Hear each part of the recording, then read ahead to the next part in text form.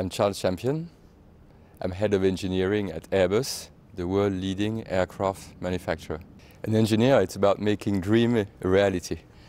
And when I read that only 10% of the young boys and 1% of the young girls, when they become older, select engineering or see that they would like to be engineers, it shows that uh, somehow we have lost uh, the dream and the passion to make these young boys and young girls become engineers.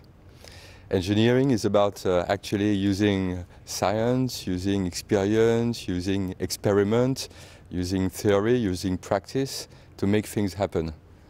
And if you look at aviation today, a century ago we were just talking about the first hops and now we are carrying passengers at a very low uh, consumption, providing all types of amenities on board, and there are still lots to do in aviation in the future. So this is why we need engineers. Diversity is important in engineering because to succeed you need to be able to confront different points of views and look what is the best possible solution. We at Airbus, we started with uh, French, the German, the Spanish, the British, and also Americans. And it was always a, a, bit of a challenge to align everyone. But this was very rich. It showed that by diversity, you could actually have innovative solutions which would not come up from one single uh, way of thinking. And this is why, for us, in engineering, particularly in aircraft, which is a, a, global world where you need to integrate lots of technologies, diversity will be the key for success in the future. If you look at Airbus today, we've got probably 100 nationalities, and this is really uh, an asset. We want to hire, and we actually managed to hire more than 25% uh, female, even though in engineering schools it's not so easy to attract uh, young females towards engineering. The Global Engineering Deans Council is an association of uh, deans or heads of engineering in various schools and universities across the world we have decided to work together in order to attract new talents in engineering for the future.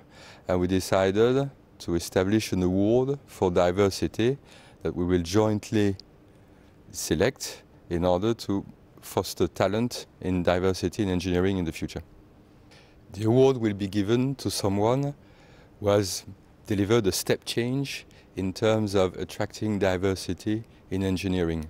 It can be a teacher, a professor, why not a dean? But this person has to actually demonstrate also through a project or through an initiative that he or she has managed to attract diversity within engineering, let it be gender, uh, unprivileged neighborhoods, or diversity in terms of education, or diversity in terms of origin. So it's really to actually act as a, an incentive for also all the engineering universities across the world to think diversity and also think projects that actually can deliver the diversity. Well, the, the, whole process in, in, a few single words, it's about uh, submitting a project. So uh, if you wish to join, you have until end of May this year to do so.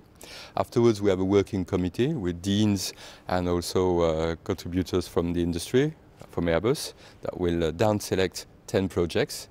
And myself, I've got the great honor and privilege to chair the evaluation committee with the head of the GDC so that we can actually select out of these 10 what is the best project. The award will be given in uh, October in Chicago at the GEDC uh, conference.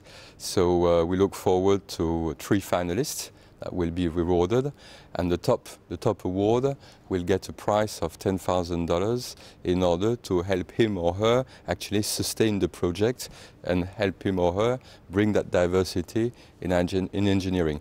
But I think beyond the, the price itself, it's really about recognition and taking the opportunity to recognize the work that is done today already by individuals in engineering schools and engineering universities to attract diversity and make that step change we need.